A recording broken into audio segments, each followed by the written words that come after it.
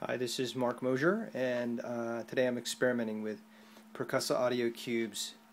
And what I'm working on is using one face of a cube with infrared to detect hand motion and to send both notes and continuous controller information, and then mapping that back to multiple parameters in Ableton Live. So I can play a note from the cube face, and at the same time I'm modulating the XY pad, morph pad on Alchemy and I'm also changing the uh, fine tune of oscillator 1 changing the pitch so.